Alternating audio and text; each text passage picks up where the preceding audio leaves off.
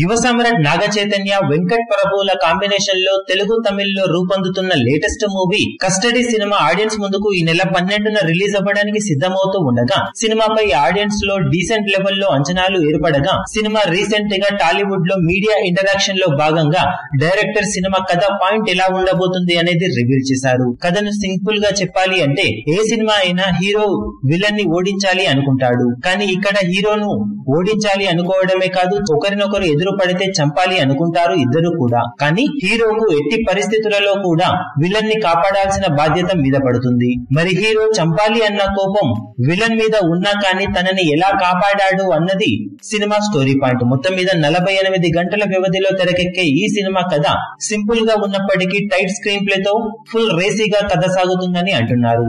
ఓవరాల్గా కాన్సెప్ట్ కొంచెం డిఫరెంట్గా అనిపిస్తూ ఉండగా సినిమా ఆడియన్స్కి ఇదే విధంగా మెప్పించగలిగితే ఖచ్చితంగా బాక్సాఫీస్ దగ్గర మంచి విజయాన్ని సొంతం చేసుకునే అవకాశం ఎంతైనా ఉంది. బ్యాక్ టు బ్యాక్ ఫ్లాప్స్ తర్వాత అక్కినేని ఫ్యామిలీ నుండి వస్తున్న ఈ సినిమాపై ఎక్స్పెక్టేషన్స్ అయితే భారీగానే ఉండగా నాగ చైతన్య థ్యాంక్ యూ డిజాస్టర్ను ఎలా మరిపించి ఈ సినిమాతో మెప్పించి బాక్సాఫీస్ దగ్గర సక్సెస్ ట్రాక్లోకి ఎక్కుతాడా లేదా అన్నది మే ట్వెల్వ్ వరకు ఆగితే తెలుస్తుంది.